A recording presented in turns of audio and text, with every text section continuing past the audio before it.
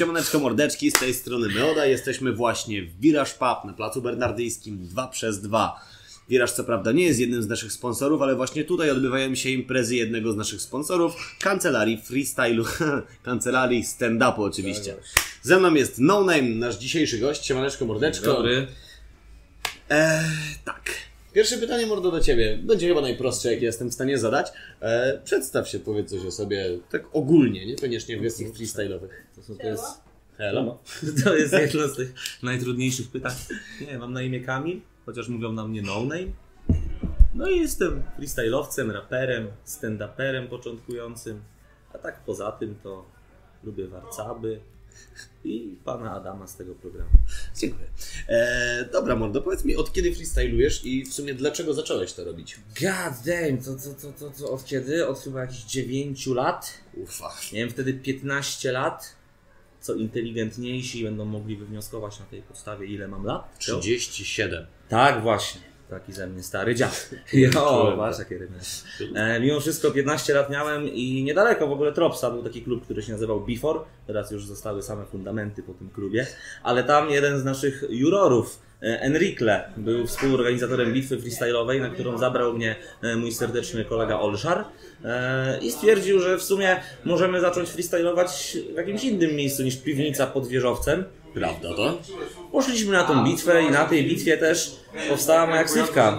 Bo na bitwie dowiedziałem się, że trzeba mieć w ogóle jakąkolwiek ksywkę. No tak. Nie, nie można przyjść i powiedzieć Kamil.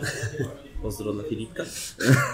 I wtedy też grałem w Gotika dwójkę i stwierdziłem, i słuchałem też VNM-a. I stwierdziłem, że idealnie będzie to połączyć, także bezimiennego zamieniłem na The Next Best. Wyszło no name. Spolszczyłem to i tak oto jestem tutaj i pierdolę głupoty. Brzmi dobrze. Bezimienny, ale co ma powiedzieć, to powiedzieć. Coś tam powiem. To powiedzie. Kurwa. Eee, powiedz mi tak, siemanko, Siema. czy freestyle jest dla Ciebie w życiu czymś e, istotnym, czy raczej czymś, e, czymś jak hobby, czy... Wiesz co, to hobby, myślę, że bardziej hobby, taka zajawka. Myślę, że, no czy kiedyś to w ogóle było takie ubarwianie sobie melanżu, pójściem na bitwę. w sumie E, aktualnie myślę, że jest to taki sposób na dowartościowanie się. Okej. Troszeczkę też. E, czyli to troszeczkę nam zapoczątkuje, powiedzmy, kolejne pytanie. E, Co najbardziej cenisz sobie we freestylu? Co najbardziej widzę, że... cenię sobie we freestylu. No tak, widzę, że to dowartościowanie już jakąś rolę gra. ale jakby co, chodzi o rzeczy, które freestyle daje mi, tak? E, tak, no co, niekoniecznie tobie, po prostu... Znaczy, no, Co twoim zdaniem jest takiego najfajniejszego w tym freestylu? Co, co najbardziej ci jakby pasuje? Znaczy myślę, że jest to fajna forma muzyczna, chociaż wielu freestyle'owców i nad tym bardzo ubolewam, e, totalnie odchodzi od tego, że freestyle to jest muzyka i, i coś, czego bardzo nie lubię, czyli darcie mordy, punchline i do tego zero rymów, zero jakiejkolwiek melodii e, jest na porządku dziennym, no ale trudno, staram się to zrobić trochę inaczej, ale uważam, że jest to fajna, fajna forma wyrażenia się muzycznie, no i tak, dla mnie jest to też fajna forma dowartościowania się, jak wygrywam bitwę, to się czuję po prostu lepiej. Okej, no to w następne pytanie. No, ja odpowiedź raczej znam, ale jakie jest twoje największe osiągnięcie minionego roku? Największe osiągnięcie, no to chyba wygranie bitwy o Juvenalię. Widzisz, dobrze przewidziałem. Patrz, jaki przygotowany. I, I też faktycznie właśnie o tym mówiłeś, także to właśnie tak podbudowuje. Tak, tak, tak. To mnie w ogóle ta bitwa o Juvenalia chyba sprawiła, że jestem teraz w tym miejscu, bo jakbym jej nie wygrał, to bym nie miał aż tak dużej zajawki, żeby do tego Tropsa sobie później znowu chodzić, żeby, żeby w ogóle wziąć udział w tej czwartej ustawce, żeby ją wygrać i żeby tu teraz siedzieć i sobie z tobą gawędzić, także... Także dzięki Juvenaliom tu jestem. No jak, jakby nie patrzeć, jak, jak nie, nie siedzisz cały czas w tej samej zajawce, to jakby no odechciewa, odechciewa się tego Dokładnie. wszystkiego. Co musiałoby się stać, żebyś y, mógł określić siebie mianem spełnionego freestylowca? Spełnionego freestyle'owca myślę, że na pewno musiałbym wygrać ten finał 14. No, I jakąś jedną dużą bitwę, typu bitwa o południe, WBW, coś Kostrzynek. takiego. Kostrzyn, może Kostrzyn też. Czy Kostrzyn jest tak dużą bitwą? Jest, oczywiście, że jest.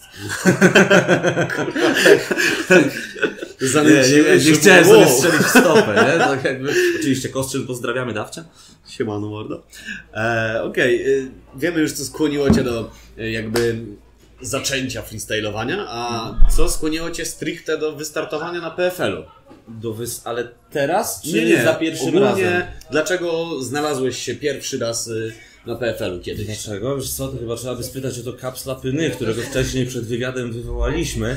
Bo no, pojawiło się jakieś info o bitwie, wtedy jak była bitwa, to się na nią po prostu szło. No i pojawiło się info, że będzie bitwa i sobie po prostu poszliśmy. To jest jakby, to nie ma skomplikowanej genezy, stary. To nic konkretnego, nie? E, tak naprawdę. No tyle. No, przyszedłem, nie? Ale z, przyjemnością wróciłem. Nie? I bardzo mi się podoba, jak ta bitwa się w ogóle, całe, cały PFL, jak się rozwinął na przestrzeni lat, bo jestem w stanie to jakoś ocenić. I na początku to, jak to Jacek Placek nawinął, że to PFL to nie tylko trzech typów, możesz wierzyć. Na Tak. początku to było tylko trzech typów, możesz mi było. wierzyć, nie? No I, e, I pamiętam, jak widzieliśmy tam ciebie pod sceną i pijany Marian, e, który teraz jest księdzem, pozdro Marian, mówił, że on się nadaje, żeby go wciągnąć na fondo. Nie? Pozdrawiamy Mariana. Teraz, Pozdrawiamy całe fondo. teraz to chyba się bardziej nadaje, żeby mnie nawrócić. Zdecydowanie. Zdecydowanie. Okej, dobra, mordo. Jaki, jaki jest przez Ciebie najbardziej zapamiętany moment y, minionego już praktycznie sezonu PFL-a? Co najbardziej zapadło Ci w pamięć? No, nie będę skromnie mówił to, że wygrałem tą czwartą ustawkę. Tak naprawdę nie zapamiętałem wielu momentów, bo ja to szczerze powiedziawszy nie jestem jakimś ogromnym fanem słuchania freestylu. Ja. Lubię sobie odpalić jakąś dobrą bitwę, ale szczerze powiedziawszy, jak biorę udział w bitwie, to pomiędzy raczej nie jestem z tych, którzy stoją pod sceną, obserwują wszystko, tylko wolę iść się gdzieś wyciszyć, spalić fajkę i tak Tak. dalej. Czyli bardziej się skupiasz na Tak, tej aktywnej tak, tak, stronie tak, niż tak, na tak, tej... tak. No, E, rzadko jestem na bitwie jako widz. Czaję, czaję. No, rozumiem. E, jakie, jakie są Twoje cele na finał? Zamierzasz, znaczy chyba już wygrać. jakie jeszcze mogę mieć tam cele? Nie wiem, no niektórzy po prostu, wiesz, chcą No kurwa, tak, idą się najebać. Jakieś Nie. konkretne swoje Nie, cele mają. Na no- przykład, nie wiem, wypić 9 browarów i przejść linki. No, Nie, znaczy, ja w ogóle ostatnio na czwartej ustawce odkryłem złotą dawkę alkoholu na bitwie. To było 3,5 piwa. 3,5 piwa, od tego Tak. zacznijcie, dwunastolatkowie Nie, chcący od freestylować. tego zacznijcie, na jednym zacznijcie, na 3,5 skończycie. No. na 3,5 zaczniecie, to na dwie skończy. W sumie tak. Tak.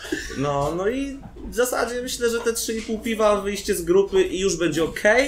Ale no chciałbym wygrać tą bitwę, oczywiście tak. No ale forma dnia zadecyduje. Forma dnia to jest też prawda. Um, Okej, jaki, jaki jest Twoim zdaniem faworyt y, najbliższego finału? Wiesz co, myślę, że odpowiem to samo. Zad- Zadecyduje forma dnia. Nie widzę tutaj żadnego jednego faworyta. Uważam, że każdy jest w stanie wygrać tą bitwę, także no nie widzę nikogo, kto koniecznie wygra. Mogę powtórzyć to, co, e, to, co powiedziałem przy barze, że jest na przykład taka postać Quesha, którego serdecznie pozdrawiam i na niego będzie największy hype, uważam, na tej bitwie i Możliwe. wobec niego mogą być największe oczekiwania na tej bitwie, jako że doszedł do półfinału WBW, co osobiście bardzo propsuję. Natomiast poza tym nie, nie uważam, żeby ktoś był jakimś największym faworytem. Taki hype to jest też sprawa, wiesz, plusy, minusy, nie? No oczywiście, że tak, strony no. masz faktycznie... Jak on nie wyjdzie z grupy, to będzie w topa, nie? jest presja, jest presja. E, Faktycznie. A czarny koń? Czarny chuj tego finału, to myślę, że czarnym koniem, myślę, że mógłby się nim okazać Rafi, bo słyszałem, że potrafi odpalić. Potrafi. Ale jo, jo, jo. e, ale tak to... No powiedziałbym, że ty Bartek, ale ty pewnie siebie nie uważasz za czarnego konia, tylko za faworyta, także... Kurwa, narcyzie. E, ale... ale nie, no myślę, że myślę, że może Rafi. Okej, a Myślę, powiedz mi, no. znaczy, nie no, jak masz coś jeszcze do, do rzucenia. Nie, chyba. nie. E, jaka twoim zdaniem byłaby grupa śmierci, ale biorąc pod uwagę, że no niemożliwe jest, żeby Bartek z Koszem byli w jednej, nie? No bo jakby nie Grupa patrzeć, śmierci. Mhm. E, Bartek z Queshem niemożliwe, żeby byli w jednej. No No są to, rozstawieni, nie? Po dwóch.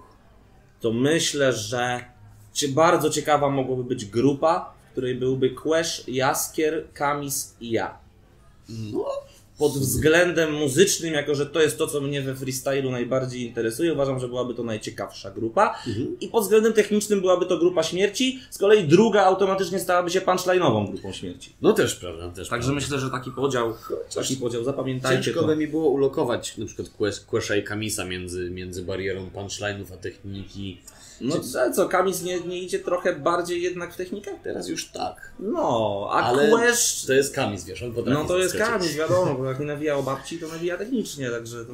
No, też prawda. Okej, dobra mordo. Zostało nam ostatnie pytanie. Ostatnie pytanie, którego nikt nigdy się nie spodziewa.